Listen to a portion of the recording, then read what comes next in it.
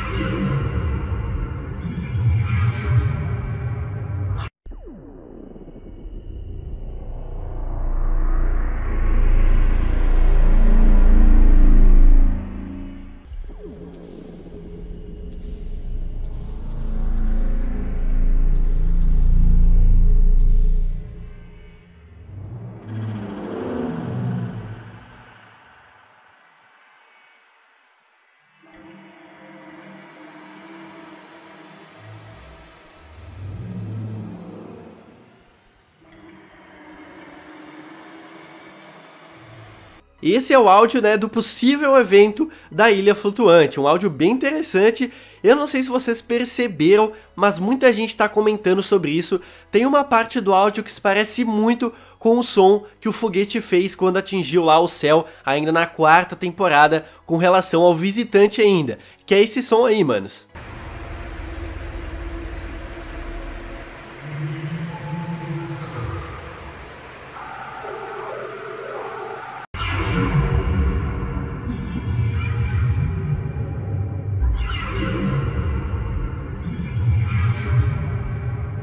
Deu para perceber que os sons são realmente bem parecidos, né? E por isso muita gente está comentando que o Visitante irá voltar nessa temporada, mano. É, o Visitante, né, que lançou o foguete ainda na quarta temporada. Será que o Visitante vai voltar? Porque o visitante, digamos que é o causador de tudo isso, tá ligado? Seria uma parada bem interessante, mas é claro que nada disso ainda está confirmado. Então, manos, é, é, tem aquela história, né? Pode ser que não aconteça nada, mas fique ligado porque quando a ilha flutuante estiver finalizado, né, todas as runas estiver ativado aí a última runa, é provável que aconteça alguma coisa. E é quase certo que esses dias serão nesse final de semana, no sábado ou domingo, porque para quem não sabe, a ilha flutuante fica mais ou menos dois dias aí numa runa, né, ativando a runa. E é bem provável que ela termine de ativar a última runa sábado ou domingo, certo? Mas até lá eu vou atualizando vocês, né, a respeito disso. Além disso, algumas semanas atrás também foi encontrado nos arquivos do jogo que a ilha vai fazer alguma colisão, manos. Então, tudo indica mesmo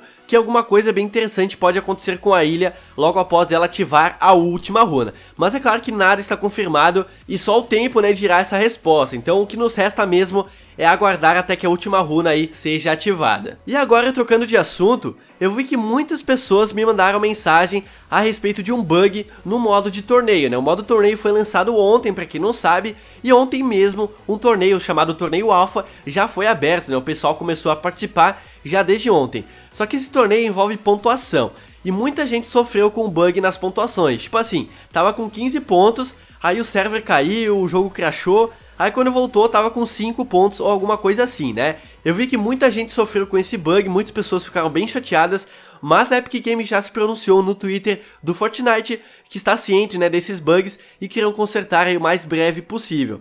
Se o seu caso já foi resolvido, tudo beleza, mas se o seu ainda não foi resolvido, é provável que eles corrijam isso em breve, né? Tomara que sim, porque eu vi que muita gente sofreu com esse bug que realmente é bem chatinho, né? Mas era bem provável que eles iriam sofrer com certos bugs nesse modo de torneio, porque sempre quando tem alguma novidade no jogo, alguma novidade que envolva um novo sistema, um novo item, novas mecânicas no game, ele sofre com bugs, né? Como foi no caso das Pedras Sombrias, quando foram lançadas aí nessa sexta temporada, ficaram bons dias aí fora do jogo para corrigir certos bugs, o míssil ter ligado também, que tinha uma nova mecânica, né, de você controlar o míssil, até mesmo, né, o carrinho de compras, porque ele foi o primeiro veículo a ser colocado no jogo, e ele sofreu muitos bugs no início, né? Muita gente conseguia entrar no chão com ele, tinha vários bugs ridículos com o carrinho de compras, e ele tinha ficado vários dias aí fora do game. Então era meio provável que a Epic Games ia sofrer também com esse modo de torneio, né? Que foi lançado ontem, que também envolve um novo sistema no jogo, novas mecânicas e tudo mais, né? Nunca teve aí algum modo parecido no jogo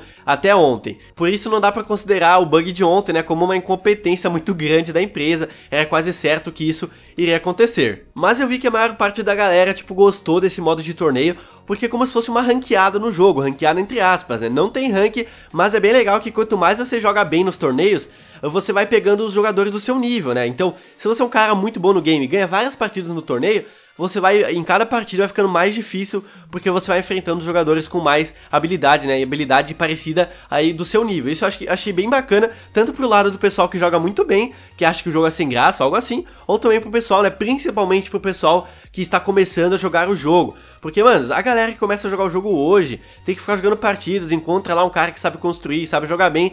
A galera sofre muito, né, com isso, demora para aprender, eu sei que é bem chato. Eu, por exemplo, comecei a jogar Fortnite ano passado, só que naquela época todo mundo era noob, né, porque o jogo recente tinha sido lançado, então era mais de boa para aprender a jogar. Hoje em dia, quem começa a jogar o jogo sofre bastante, por isso que a galera pede muito que seja adicionado um modo ranqueado. E pode ser que esse modo de torneio seja, digamos que uma prévia das ranqueadas, né? Que no futuro bem próximo eles adicionem aí sistema de ranqueadas no Fortnite Battle Royale, quem sabe. Deixe aí sua opinião, né? Se você gostaria de ver ranqueadas no jogo ou não. E agora falando de uma nova skin que é muito provável que chegue em breve aí no Fortnite Battle Royale. Nessa última atualização, o pessoal acabou descobrindo novas skins aí dentro dos arquivos do jogo. Eu fiz um vídeo vídeo mostrando essas novas skins ontem, né?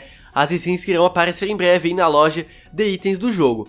Porém, tem uma skin que foi encontrada apenas o nome dela nos arquivos do jogo. E o nome da skin é uma skin de vampiro. E é muito provável que seja a skin da versão masculina daquela skin de vampiro que tem no passe de batalha, que é a skin feminina, né? Mas é claro que só foi encontrado o nome dessa skin. Ainda não foi vazada a imagem dessa skin, ou até mesmo uma possível mochila, né? Que ela possa ter. E, manos, foi igual o caso da skin da Dark Bomber e também da skin do Maximilian, que somente o nome dessas skins tinham sido encontrados aí nos arquivos do jogo e logo depois eles apareceram no jogo, digamos que surpreendendo aí a comunidade. Mas é claro que pode ser, né, que essa skin tenha sua imagem vazada nos próximos dias ou até mesmo na próxima atualização. Mas se aparecer alguma skin de vampiro na loja, tipo, até sábado ou domingo, não se surpreenda porque o nome dela já foi encontrado nos arquivos do jogo, só que a Epic Games meio que conseguiu dibrar alguns leakers nessas skins, né, da Dark Bomber e do Maximilian, colocando elas um pouco mais protegidas dentro dos arquivos. E, mano, tomara que essa skin seja bonita, porque eu acho muito linda a skin de vampiro que tem no passe de batalha, da mulher vampiro, né? Acho muito da hora e é bem provável que essa skin masculina também seja bem interessante. E como se trata de uma skin de vampiro, que também tem relação com o Halloween, né? É muito provável que seja no mínimo alguma skin uh, épica ou lendária, porque o nome da skin já diz, né? Uma skin de vampira, bem provável que seja uma skin com vários detalhes, uma skin bem bonita. Mas então é isso, galera. Espero que vocês tenham gostado do vídeo. Lembrando que amanhã serão lançados os desafios da quarta semana aí do passe de batalha e algumas coisas foram colocadas no mapa ontem, né?